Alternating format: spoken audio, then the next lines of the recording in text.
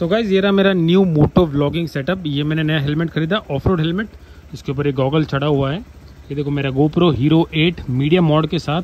और ये जो स्ट्रैप मिलता है, ये अमेजोन पे आपको कहीं पे भी मिल जाएगा। तो ये मैंने लगाया अंदर से, देख सकते हैं। वायरिंग फ़िलहाल के लिए इसमें फंसा दी है, क्योंकि फिर कभी चेंज करना पड़े तो मैं इसके लिए यहाँ पे लगा दिया है। और ये रहा माइक नया वाला। दिखा दो तो कुछ ऐसा दिख रहा है। फ़िलहाल के लिए टेम्प्रेरी सेटअप है।